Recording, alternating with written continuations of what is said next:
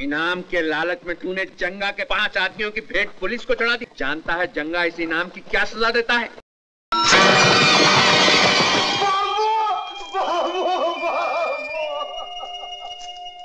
जब तक जनता को अपनी ज़िम्मेदारी का एहसास नहीं होगा चोर चके राज करते रहेंगे।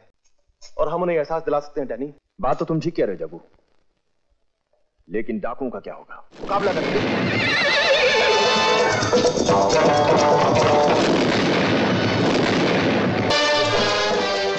दिलावर सिंह। क्या हुआ दिलावर सिंह?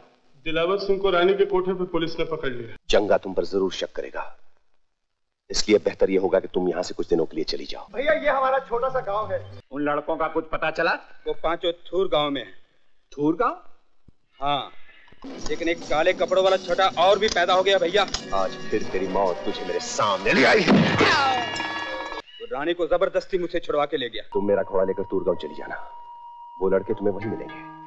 उन्हें आगाह कर देना कि जंगा उनका पीछा आसानी से नहीं छोड़ेगा। जाओ। और तुम बुजदिलों की तरह यहाँ भाग आए। वो कौन है ये तो मैं भी नहीं जानती।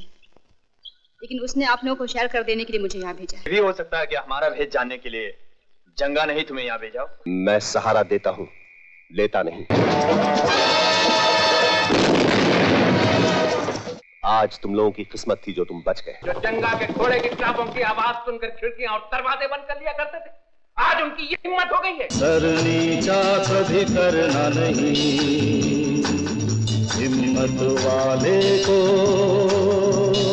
मरना नहीं मरना नहीं।